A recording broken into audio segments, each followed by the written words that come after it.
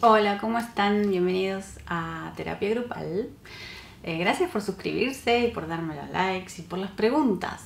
Hoy estoy respondiendo una pregunta a una de ustedes que me hizo una, una consulta, me preguntó cómo hacemos para desprendernos de, de los psicópatas, narcisistas, abusivos y cómo hacemos para, para vencer ese, esa unión que tenemos como que rara, como que no entiendo qué es lo que me pasa, eso me preguntaron, ¿no?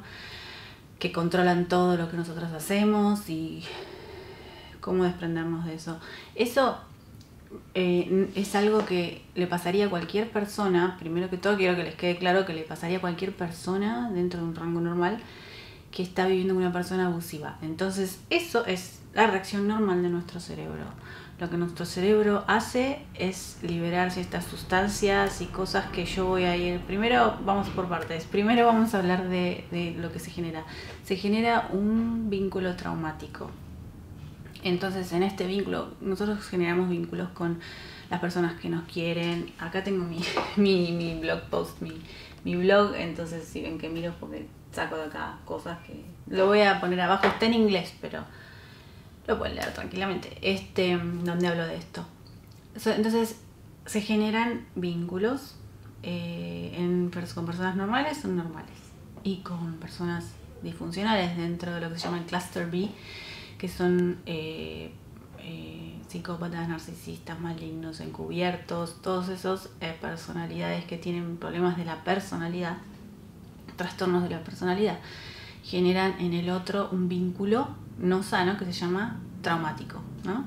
Eh, vamos, eh, en 1973 hubo un robo en un banco en Estocolmo.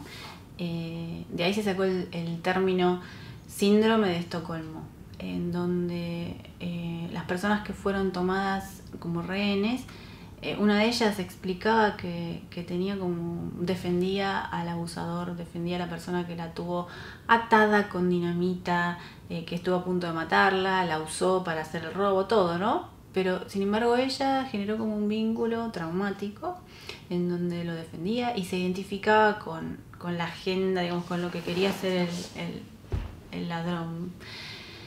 A partir de ahí los psicólogos empezaron a investigar y vieron que es lo mismo que se genera en una situación de abuso, puede ser incesto, abuso de chicos, de, personas mayores, de lo que sea, cualquier donde se genera un abuso psicológico o físico o emocional, eh, se genera este vínculo traumático, en donde es muy difícil, es más fuerte que el vínculo em, saludable, sano, porque es muy difícil desprenderse de este vínculo. Entonces, eh, tenemos el síndrome de Estocolmo, en donde surgió todo esto, el vínculo traumático, que es eh, en donde las acciones se llama intermittent reinforcement. Es em, el refuerzo intermitente sería, este, el abusador hace cosas buenas y cosas malas, intermitentemente. Es bueno y es malo. Entonces, llega un momento en que el abusado hace todo para estar siempre en la parte buena, entonces hace todo para que el abusador esté bien, pero nunca nada es suficiente. Entonces eso genera un vínculo traumático eh, en donde se libera oxitocina, que es la parte que vamos a ver ahora, la química. Em, la oxitocina, yo no soy neuróloga ni médica, em, pero por lo que estudié, es que la oxitocina es un neurotransmisor, es una hormona, es un eh, neuropeptide, o sea, eh, y, y eso hace que eh, está en distintos lugares y, reacciona al exterior, o sea, a nuestro, a nuestro medio ambiente. Entonces es la hormona que está involucrada en la lactancia, en las contracciones uterinas, en, la, en el amor, en las relaciones con las personas. Eso forma, y en el caso de un vínculo normal, está presente. Y en el caso de un vínculo eh, traumático también está presente, pero de una forma dual porque la otra persona que supuestamente debería ser segura y es eh, una persona, o sea, sentirse como un lugar seguro, una persona segura, alguien en quien puedo confiar, esa persona está a su vez por momentos siendo buena y por momentos siendo mala, abusando. Entonces ahí se genera esa disonancia cognitiva de la cual hablamos en un video, lo voy a poner un link acá, acá. Em, entonces, este, se generan todos esos factores. Entonces, la, la parte de bueno y malo, bueno y malo intermitentemente en el ciclo del abuso hace que se genere esta dualidad en la oxitocina, en donde es ansiolítico y además es ansiogénico, o sea, genera ansiedad y calma a la vez, según lo que el otro hace. Si el otro hace eh, cosas malas, nos hace cosas malas, nos abusa de nosotros, genera ansiedad en nosotros. Si el otro hace cosas buenas, que también pasa, es intermitente el ciclo del abuso. Bueno y malo, bueno y malo, bueno y malo. Eso es lo que cementa, pega la relación. Así como es mucho más fuerte que el... Eh, el lazo con, una persona normal. Esto es un vínculo traumático muy fuerte. Por eso es tan difícil a veces, eh, pero no imposible. ¿eh? O sea, sabiendo esto, se puede liberar uno de esto, pero este, el tema es cuando no lo sabes, no entendés lo que te pasa y encima toda esa duda, toda esa cosa que ellos plantan en nosotros de, de culpa y de todo es tu culpa, todo lo todo eso hace que menos inclusive te puedas ver lo que está pasando y la confusión de la disonancia cognitiva este, todo eso hace que la víctima no pueda llegar a la, a la solución clara que todos ven de afuera. Lo que pasa es que esa persona lo ve también, solamente que no lo puede llevar a cabo porque está metida químicamente. O sea, el, el cerebro, el sistema límbico, está esta parte de la... Eh, todo está, o sea, es, es, de, instintivo nuestro. Entonces, este, es como reacciona el cerebro ante abuso y cómo eh, digamos, es un sistema de supervivencia en donde se, se desarrolla este, este vínculo traumático. Entonces, a no sentirse como que, esto es la víctima, la culpa de la víctima, yo soy rara, yo soy extraña, no, este, esto te pasa porque sos normal. Inclusive vos debes tener sentimientos de amor hacia la otra persona, eh, cosa que no le pasa al abusador porque descarta gente como si fueran eh, no sé, un vaso, una cosa. O sea, me sirve bien. Absorbo la, la, energía que yo saco de ahí, que son las reacciones, eh, las emociones de, la, de la otra persona. Eso es lo que ellos necesitan. Y otra cosa que quería mencionar. Oh, ¿cómo o sea, bueno, no sé si quedó claro lo de la oxitocina, que es que eh, tiene esa dualidad.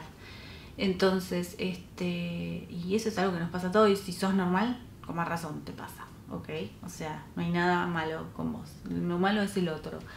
Pero esto se puede superar, eh, no es eh, imposible. Hay muchos que lo que, que, hacen un paralelismo con las drogas y dicen esto es como eh, ser adicto a la cocaína, porque hay partes del cerebro que se iluminan que están hay otros químicos que están involucrados en estos que son dopamina y un montón de cosas que yo no sé mucho, entonces no voy a hablar de eso, pero eh, esos son los que te hacen tener ganas de volver. Esas cosas, esas reacciones, eso es químico que se generó con el vínculo traumático, pero ojo que no es algo imposible, se puede totalmente eh, eh, pasar, o sea, es algo que necesita un poco de tiempo, no mucho, inclusive menos de un año, este, meses, conocimiento aprender lo que te está pasando, esto que aprendas lo que está pasando, saber lo que está pasando es muy importante, entender que estás pasando por un momento muy confuso, eh, hablarlo con un terapeuta, eh, ir a terapia, un coaching, lo que sea,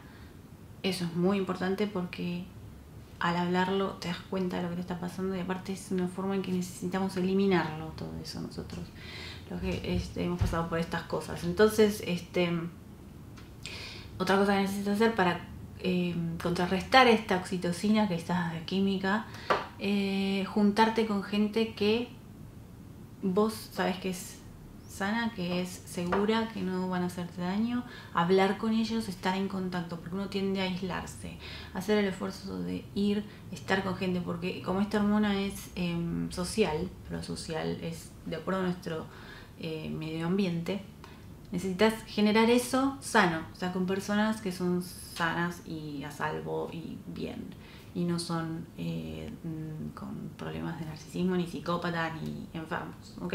Entonces, eso es una forma de hacerlo. Y después, otra cosa más, sí, porque eh, hablan withdrawal que dicen que es, eh, dejar, es como dejar las drogas, por eso el contacto cero, dejar todo, si puedes. Y si tenés algo en común, Si es el trabajo, deja el trabajo. Si son hijos, tenés que eh, regular eso porque eso después se maneja, ya no te genera nada. Llega un momento que la otra persona no te genera.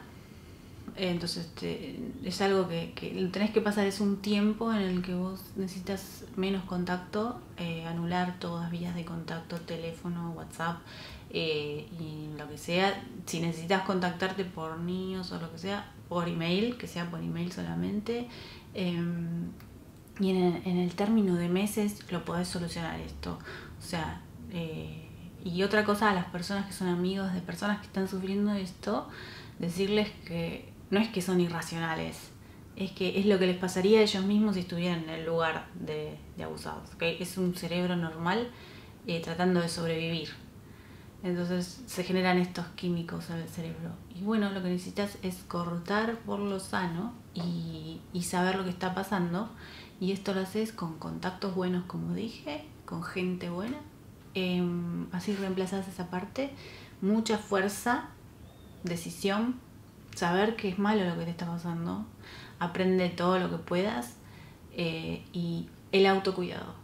Cuando ves que te empezás a cuidar y empezás a sentirte tan importante como que vos sos lo más importante, vos sos lo más importante, no el otro no estar todo el tiempo dependiente de lo que le pasa al otro y que si el otro hace esto, no, no, no, estoy yo, ¿qué me pasa a mí?